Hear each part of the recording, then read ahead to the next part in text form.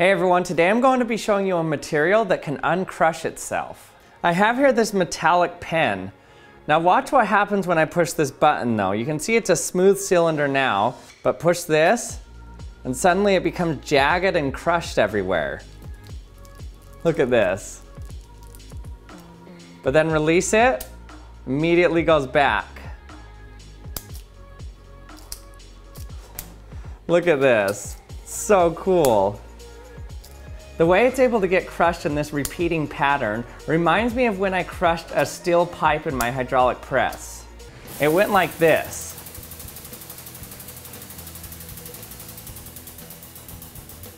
You can see that it folded down in this regular pattern here.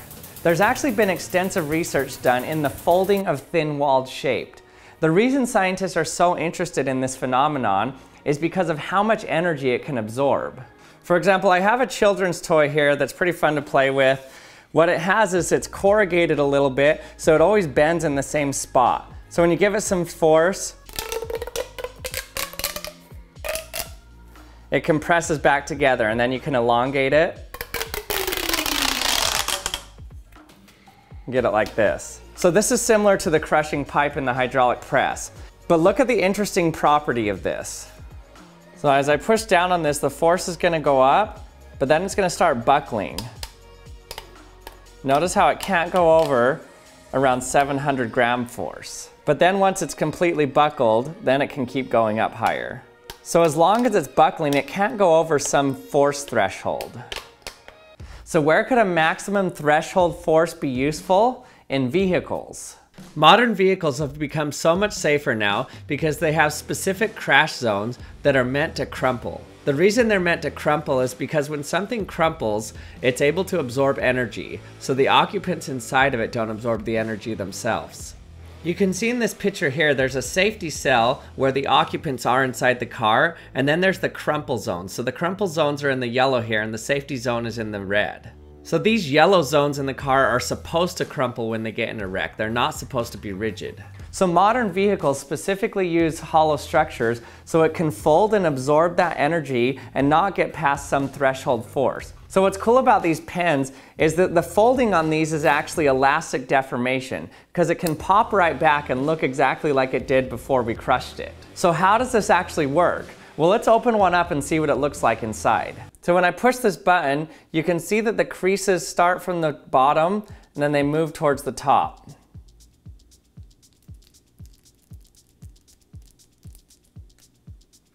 And it stays that way and it feels pretty stable until you pop it back and then it looks like it did to begin with.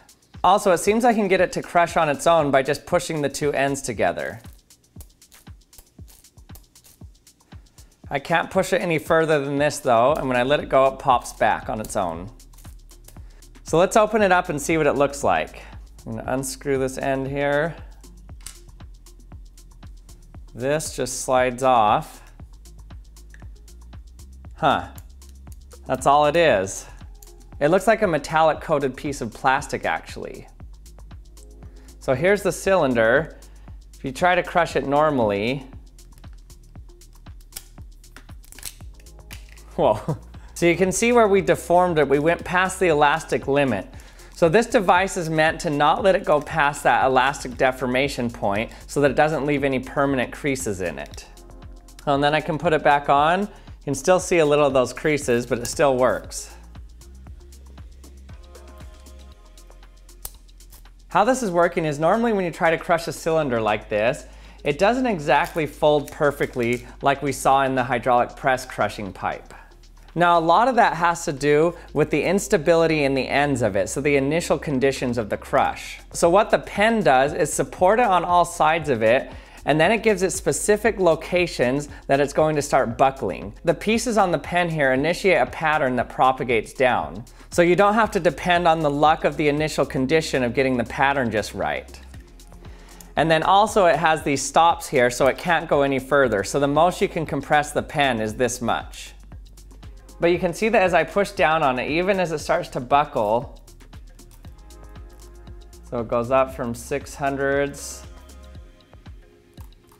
to 800s, 900s. So because this is in the elastic range, it means that the more I push on it, the more bends it has, the more force I have to put on it to do the next bend. That was unlike this one that wasn't an elastic deformation, and so it stayed the same force no matter how far I was pushing it.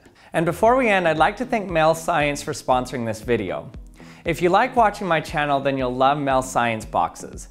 Mel is a subscription box service that provides you with your own science kits shipped monthly. They're designed by actual scientists and parents to give you an amazing box every time. I've used many of their kits in my own videos and with my own kids, and they're awesome. They provide you with everything you need for your experiments at home. Look how cool this projector is from the Mel STEM kits. So look at this, you can see my desk behind there. It's a mini projector of your own room. So if you want to check out Mel Science Kits yourself, they're offering a free box.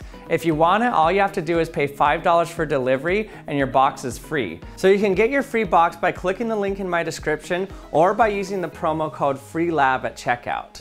Also, this is a limited time offer that's only going to be available for one week. And thanks for watching another episode of the Action Lab. I hope you enjoyed it. If you did, don't forget to subscribe if you haven't yet and hit the bell so you can be notified when I release my latest video. And thanks for watching and I'll see you next time.